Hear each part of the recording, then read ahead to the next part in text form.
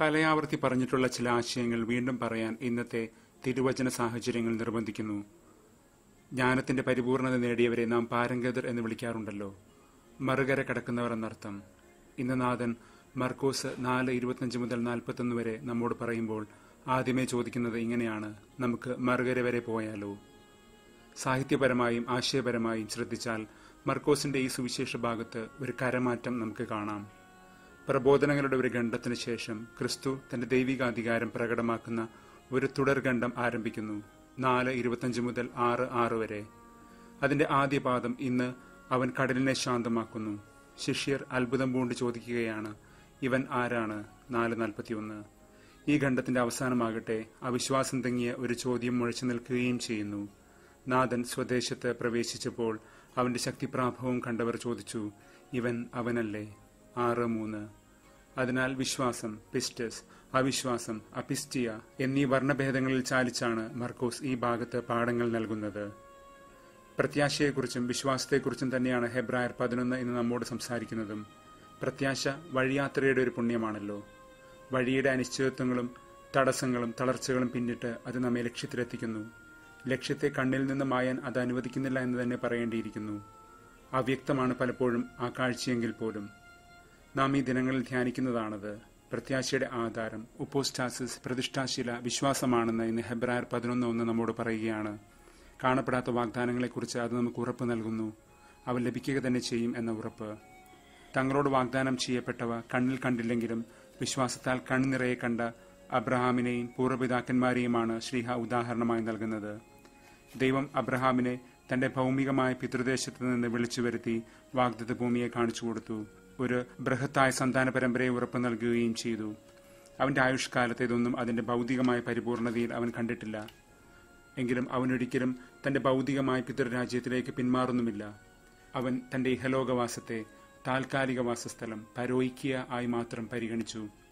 ക്രിസ്തു വിശ്വാസികളുടെ പീഡാനുഭവത്തെ ക്രിസ്തുവിന്റെ തന്നെ പീഡാനുഭവങ്ങളുമായി ഒരുമിച്ച് വായിക്കുന്ന പത്രോസിന്റെ ഒന്നാം ലേഖനത്തിൽ വളരെ വിശദമായി പരാമർശിക്കപ്പെടുന്ന ഒരു സങ്കേതമാണ് പരോയിക്കിയ ഈ ലോകം നമ്മുടെ താൽക്കാലിക മാസം മാത്രമാണെന്നത്.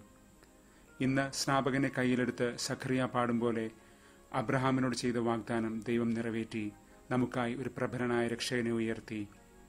നമ്മൾ മേലിൽ അവന്റെ അത്യുന്നതനായ അവന്റെ പ്രവാചകരായി അറിയപ്പെടും. അബ്രഹാം ഒരിക്കലും തന്റെ ഭൗമികമായ പിതൃരാജ്യം സ്വദേശം പത്രീതിയ തേടിപ്പോയില്ലല്ലോ. ഹെബ്രായർ പതിനൊന്ന് പതിനാല്. നാഥൻ തന്നെ അവഗണിച്ച സ്വജനത്തിന്റെ മധ്യത്തിലേക്ക് കടന്നു ചെല്ലുന്ന ഭാഗമുണ്ടല്ലോ മർക്കോസ് ആറിൽ നാം നേരത്തെ കണ്ടതുപോലെ നാഥന്റെ ദൈവിക പ്രവർത്തനങ്ങളെ വർണിക്കുന്ന ആ ഖണ്ഡത്തിന്റെ അവസാന ഭാഗത്ത് അവൻ തന്റെ പത്രീരിയ സ്വദേശത്തേക്ക് കടന്നു ചെന്നു എന്ന് ശിഷ്യരും അവനെ അനുഗമിച്ചു എന്ന് രേഖപ്പെടുത്തിയിരിക്കുന്നു. മർക്കോസ് ആറ് ഒന്ന്. ഇതും ഭൗതികമായ ഒരു പിതൃരാജ്യമല്ല. നാഥൻ നമുക്ക് മുൻപേ ഓടിക്കയറിയ നമ്മെ കാത്തിരിക്കുന്ന സ്വർഗരാജ്യം തന്നെയാണ്. നാം അവനെ പിഞ്ചെന്നേ മതിയാകൂ. നമ്മുടെ യഥാർത്ഥ പിതൃരാജ്യം. അബ്രഹാം തന്നോട് വാഗ്ദാനം ചെയ്യപ്പെട്ടവ എപ്പാങ്കേലിയോൺ വിശ്വസിച്ചു. ഇന്ന് ശിഷ്യർ തങ്ങളോട് നാഥൻ പ്രസംഗിച്ച വചനമാകുന്ന സുവിശേഷം എവാങ്കേലിയോൺ വിശ്വസിക്കാൻ നാഥനാൽ ക്ഷണിക്കപ്പെടുകയാണ്. കൊടുങ്കാറ്റിൽ വഞ്ചി ഉലയുന്നു. കൊടുങ്കാറ്റ് ലൈലാപ്സ് എന്ന പഴയ നിയമത്തിൽ ഉപയോഗിച്ചിരിക്കുന്നതെല്ലാം ദൈവികാവിഷ്കാരത്തെ സൂചിപ്പിക്കാനാണ് എപ്പിഫനി. ജോബ് മുപ്പത്തെട്ട് ഒന്ന് പ്രഭാഷകൻ നാൽപ്പത്തെട്ട് ഒമ്പത് പന്ത്രണ്ട് ജെറമിയ മുപ്പത്തിരണ്ട് മുപ്പത്തിരണ്ട്. ഇത് പഴയ ജീവിതക്കരയിൽ നിന്ന് നാം ഉദ്ധാനത്തിന്റെ മറുകര തേടി പോകുമ്പോൾ നാം ദൈവത്തിന്റെ ആവേശം കണ്ടെത്തുന്നതിന്റെ സൂചന തന്നെയാണ്. പരിഭ്രാന്തരായ ശിഷ്യർ നാഥനെ വിളിക്കുന്നത് ഗുരോ എന്നാണ് ഡിഡസ്കാലി മത്തായിൽ അത് കർത്താവെ കൂറിയോസ് എന്നും ലൂക്കായിൽ അത് നാദ എപ്പിസ്റ്റാറ്റ എന്നുമാണ്. മരിക്കാൻ പോകുന്നവർ അലറി വിളിക്കുമ്പോൾ ഗുരോ എന്ന് വിളിക്കുന്നത് അത്ര യോജിച്ചതല്ലല്ലോ. അപ്പോൾ മർക്കോസിന് ഒരു പ്രത്യേക ലക്ഷ്യം കാണും ആ വാക്കുപയോഗിക്കാൻ തൊട്ടുമുൻപ് നാഥൻ ദൈവരാജ്യത്തിന്റെ പ്രബോധനങ്ങൾ നൽകുകയായിരുന്നല്ലോ. ഇപ്പോൾ ആകട്ടെ ഈ പ്രബോധനങ്ങൾ പ്രയോഗത്തിൽ വരുത്തുമ്പോൾ നേരിടുന്ന പരിഭ്രാന്തികൾ നീക്കാൻ നാം വീണ്ടും അവനെ തന്നെ ആശ്രയിക്കേണ്ടിയിരിക്കുന്നു. മഹാഗുരുവായ നാഥനെ തന്നെ. സങ്കീർത്തനം നാൽപ്പത്തിനാല് ഇരുപത്തിമൂന്ന് മുതലിന്റെ ധ്വനിയാണ് ശിഷ്യരുടെ പ്രാർത്ഥനയ്ക്ക്. സങ്കീർത്തനം പ്രത്യാശയുടേതാണെങ്കിൽ ശിഷ്യരുടേത് നിരാശയുടേതും അതിനാൽ പ്രത്യാശയറ്റതുമാണ്. നാഥൻ അവരെ ശകാരിക്കുന്നു നിങ്ങൾ എന്തിനാ അവിശ്വസിക്കുന്നു? ദൈവവിശ്വാസം എന്ന പ്രഥമ പുണ്യം നാഥൻ അരക്കിട്ടുറപ്പിക്കുകയാണ്. കാരണം തന്നിൽ വിശ്വസിക്കുന്നവർ തന്നെക്കാളും വലിയ കാര്യങ്ങൾ ചെയ്യുമെന്ന് നാഥൻ ഉറപ്പു നൽകുന്നുണ്ട്. മർക്കോസ് പതിനൊന്ന് ഇരുപത്തിരണ്ട് മുതൽ.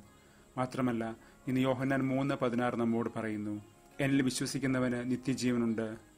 വിശ്വാസം നമ്മെ മരണക്കയത്തിൽ നിന്ന് ഓരോ നിമിഷവും വീണ്ടെടുക്കുകയാണ്. കാരണം നമ്മൾ വിശ്വസിക്കുന്നത് ദൈവത്തിന്റെ വിശ്വസ്തതയെ തന്നെ ആധാരമാക്കിയാണ്. ദൈവം വിശ്വസ്തനാണ് അതിനാൽ നാം അവനെ വിശ്വസിക്കുന്നു. അവൻ ആദ്യമേ നമ്മെ സ്നേഹിച്ചു അതിനാൽ നാം അവനെ പോലെ സ്നേഹിക്കുകയും വേണം.